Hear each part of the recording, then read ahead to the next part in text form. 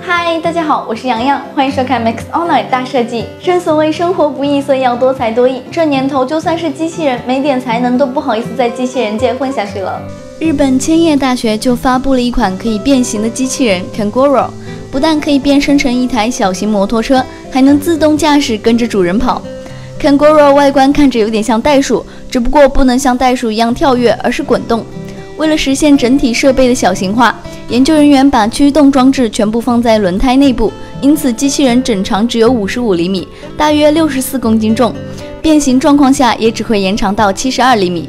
为了让其实现自动驾驶，研究人员给它安装了三维灵活传感器以及广角照相机。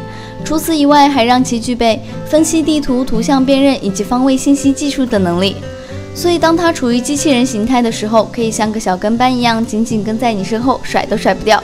想要逛街、逛超市，它就能帮忙拎那些大包小包的；想要接个女朋友，也能用手机对其进行远程操控，让它跑到指定位置。等到脚酸走累了，这时候就可以让其切换成代步工具。Kangoro 通过调整轮子、打开座椅，变形成一个三轮小车，通过把手来控制车的前后移动。不过速度会比较慢，最快时速也只能达到每小时十公里。目前他们还在研究该机器人的语音对话能力，预计到二零二零年就可以实现商业化使用了。视频元素来自 From Movie，由 Max Honor 创意公园翻译剪辑制作。